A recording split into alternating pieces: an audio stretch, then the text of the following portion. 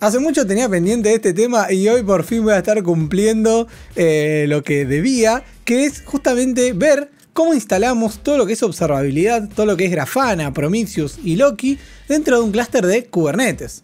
Nosotros veníamos viendo hace mucho eh, todo esto, pero con contenedores de Docker. Si entran al canal y van a buscar la playlist de, de observabilidad y monitoreo, van a ver que hay un montón de videos de todo esto, pero todo con Docker. Y nos faltaba justamente meternos dentro de un clúster de Kubernetes. Van a ver que es mucho más fácil instalar esto en Kubernetes que en Docker, increíblemente.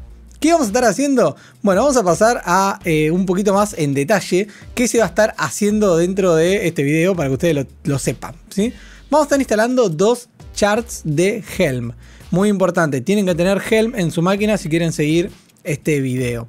¿sí? Vamos a estar instalando dos por separado. Esto porque no pude unificarlos solamente. Si ustedes lo pueden unificar después, genial y me avisan.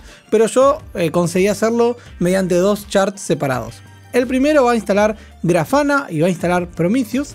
Y el segundo va a instalar Loki. Exactamente no va a ser solamente esto lo que vamos a estar haciendo, sino que por detrás los charts de Helm tienen más cositas. ¿sí?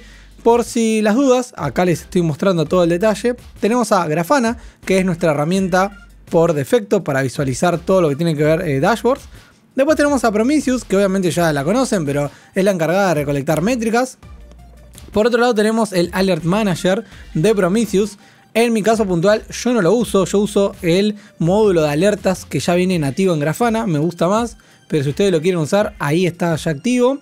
Y Node Exporter, que Node Exporter, por si no se acuerdan, es el recolector de métricas a nivel de consumo de cada nodo. O sea que nos va a estar mandando cuánto CPU, memoria, disco, etcétera, consume cada nodo de nuestro clúster. Y por otro lado tenemos a Loki, que si no se acuerdan, que es, es el servicio que se encarga de recolectar logs y enviarlos a Grafana para visualizarlos. Y adentro de este chart se va a estar, se va a estar instalando perdón, Promptail. Bien, Promptail, por si no se acuerdan, es un agente que básicamente va a estar leyendo todos los logs de cada nodo de tu clúster y se lo va a estar mandando a Loki. Y Loki se lo manda a Grafana. Bien, eso sería como más o menos eh, funciona todo esto. Así que eso sería más o menos todo. Espero que eh, les guste y quieran escuchar a continuación. Así que vamos con la intro y comencemos.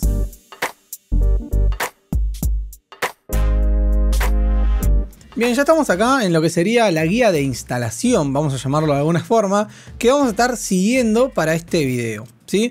Acá tenemos, muy importante, todo esto se lo voy a estar dejando en la descripción del video. Y tenemos los dos primeros links que son los que vamos a estar utilizando para eh, seguir la guía. Yo obviamente que me fui a los links y lo guardé a todo esto acá para tenerlo a mano, pero si ustedes quieren ir y leer la documentación oficial, ahí la tienen.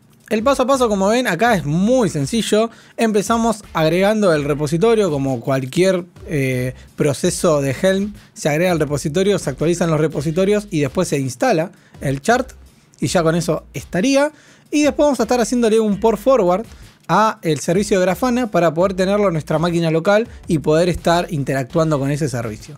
Yo acá no voy a meter ningún ingreso, no voy a meter absolutamente nada, eso queda fuera de este video solamente para simplificarlo. Y hablando de simplificar, fíjense que en este caso vamos a estar tomando todos los valores por defecto que viene en el chart. No le estoy pasando ningún archivo de values porque justamente con los que ya vienen me alcanza para este video. Pero sepan que si ustedes necesitan hacer esto para un clúster de producción, deberían tener su propio archivo porque esto cada vez que se reinicia, porque tenga alguna falla o lo que sea, va a volver a tomar los valores por defecto. O sea que si ustedes, por ejemplo, como vamos a hacer en este video, agregan el data source de Loki, una vez que se reinicie y se caiga, no les va a funcionar. Así que eso, sépanlo, van a tener que investigarlo un poquito. Pero yo en este caso lo voy a estar dejando así.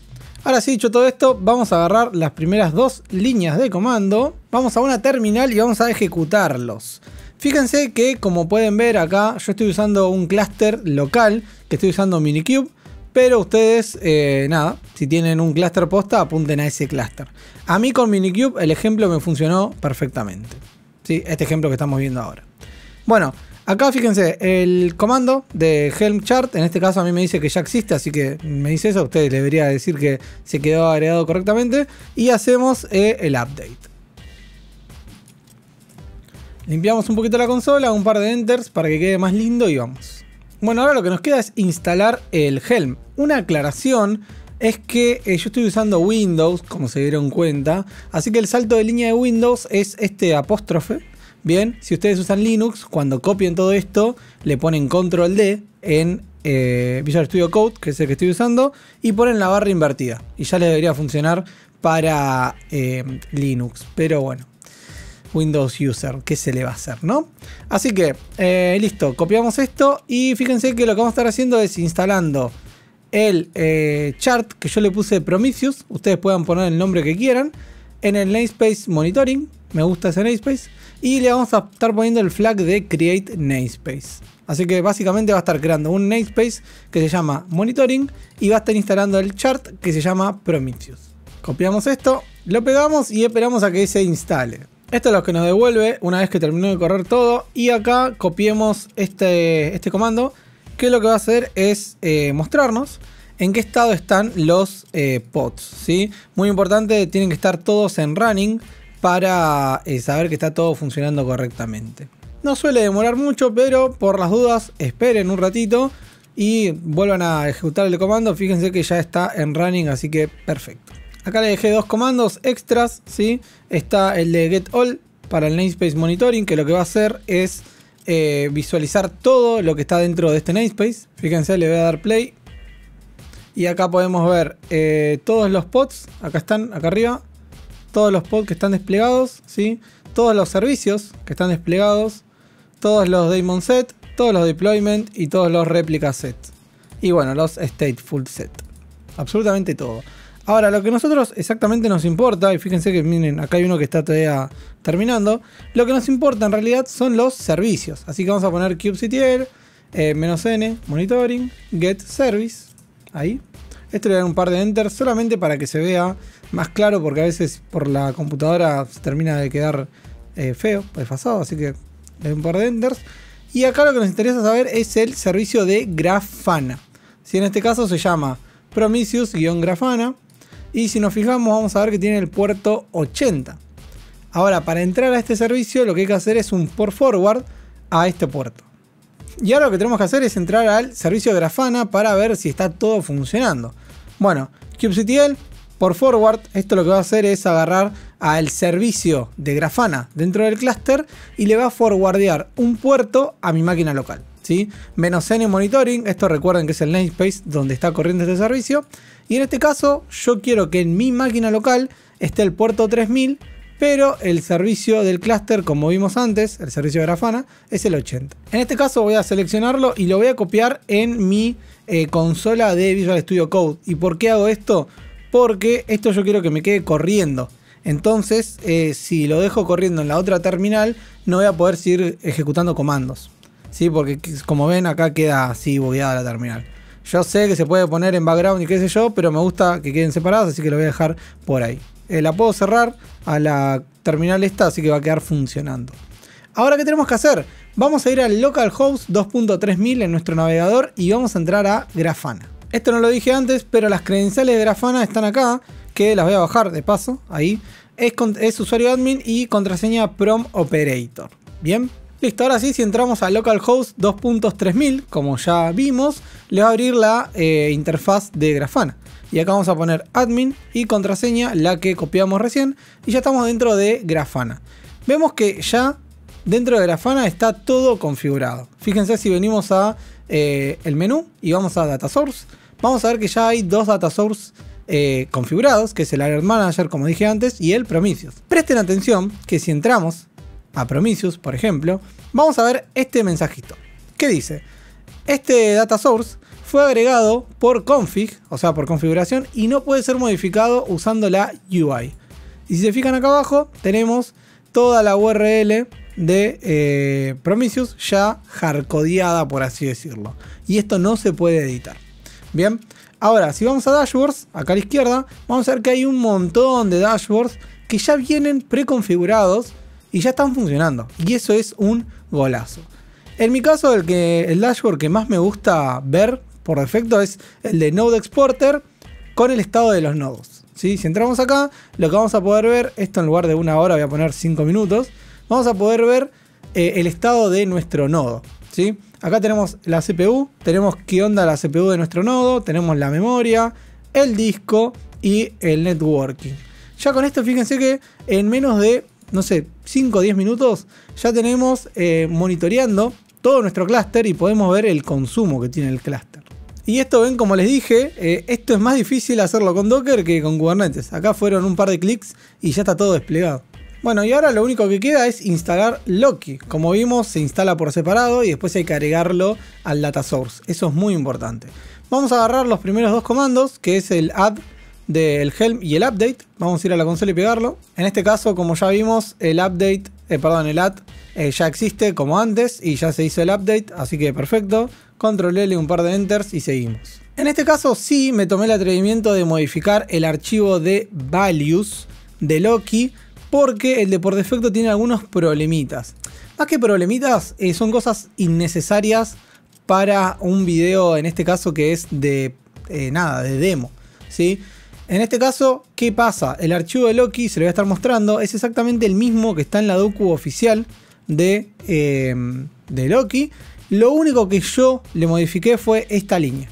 Bien, en esta línea agregándole este valor de auth enable igual false, estamos obligando a Loki que funcione en un tenant, o sea, en single tenant. ¿Por qué? Porque ahora Loki, por defecto, esto es algo que cuando yo hice el video no existía, funciona en multi-tenant. O sea que yo puedo tener distintos tenant, vale la redundancia, en un solo Loki. Y eso está re bueno para separar y segmentar todos nuestros logs. El problema es que cuando vos le envías los logs a Loki, le tenés que aclarar en qué tenant querés guardar ese log.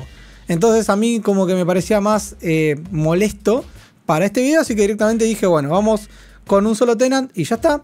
Y otra cosa es que Loki se está guardando todos los logs, toda su data en el mismo nodo donde está corriendo, en el file system. ¿sí? Si esto van a la documentación oficial, que está acá arriba en install, acá arriba de todo, fíjense que está la versión monolítica.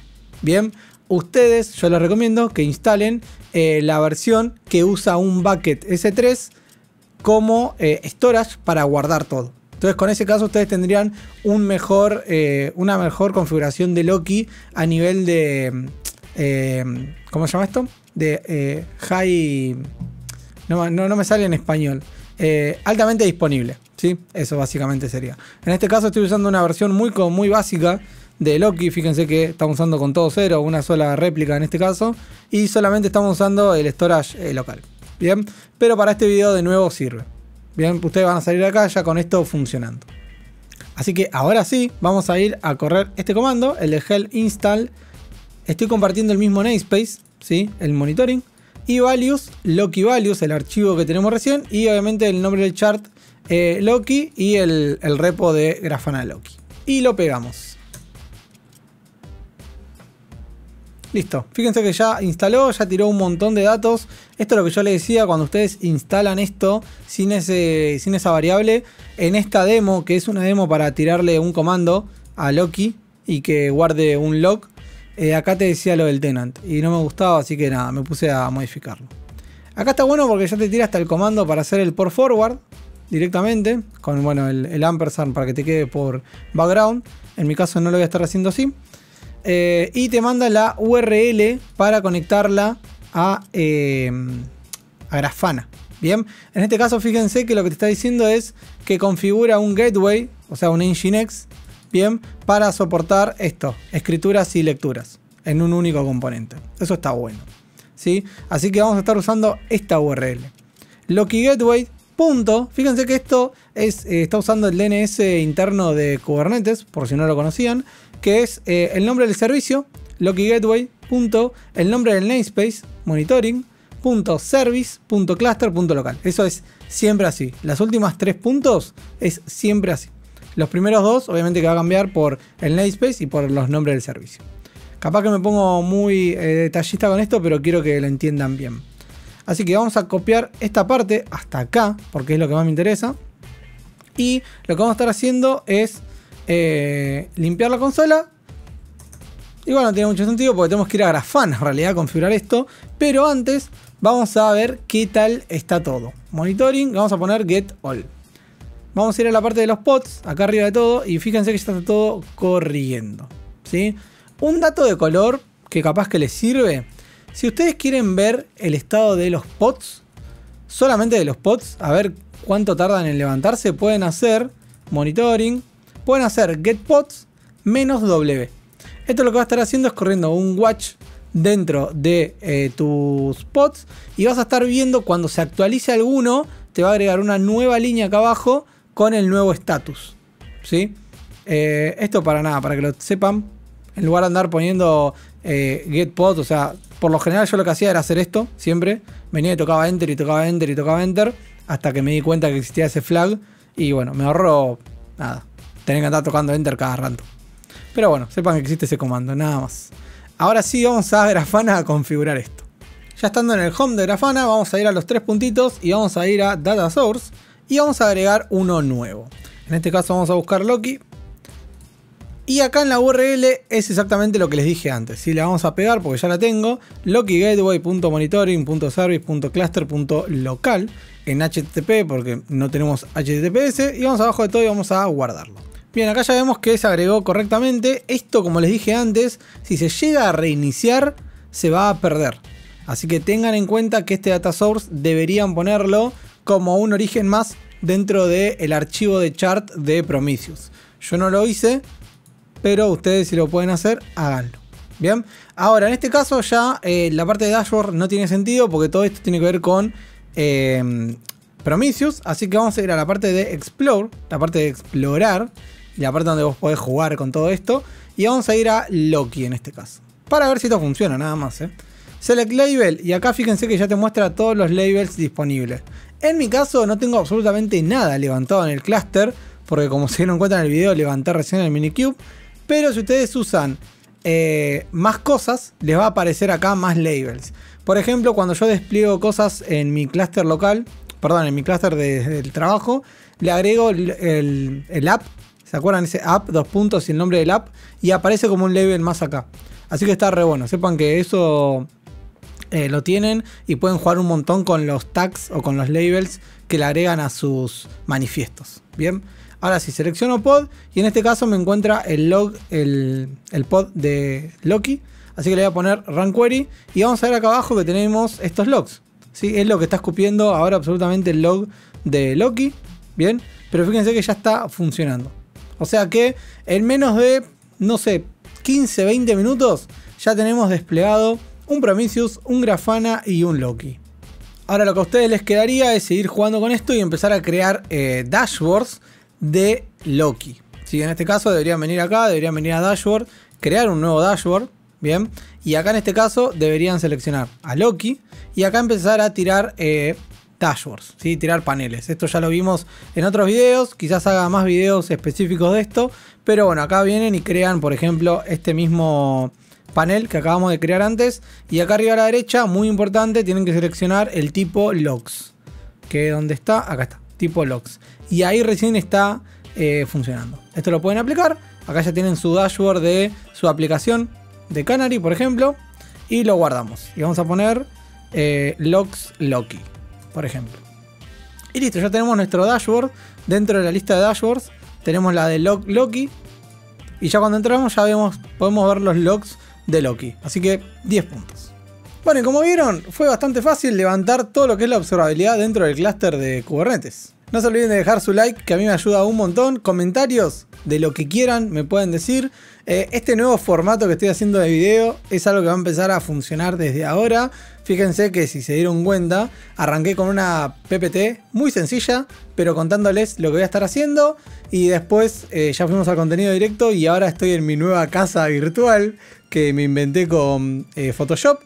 Y nada, voy a estar usando esto porque la verdad que el otro fondo me parece que no, no tiene mucho sentido. Así que eh, nada, espero que les guste este nuevo formato de video. Cualquier comentario, cualquier crítica constructiva es bien recibida. Bien, lo dejé todo esto para el final porque sé que les aburre a algunas personas. Así que nada, los fieles que se quedan hasta el final se están enterando de todo esto. Eh, fíjense que en Instagram y en TikTok estoy subiendo contenido particular, ¿sí? exclusivo para esas redes sociales y acá en YouTube obviamente también estos videos van a quedar solamente en YouTube, así que yo les diría que vayan ahí a TikTok y a Instagram porque estoy subiendo cositas separadas en las dos redes sociales. Así que nada eso, gracias por bancar. y nos estamos viendo, ojalá, la próxima semana con un nuevo video. Así que eso es todo por mi parte. Mi nombre es Ariel y esto es Caos Binario.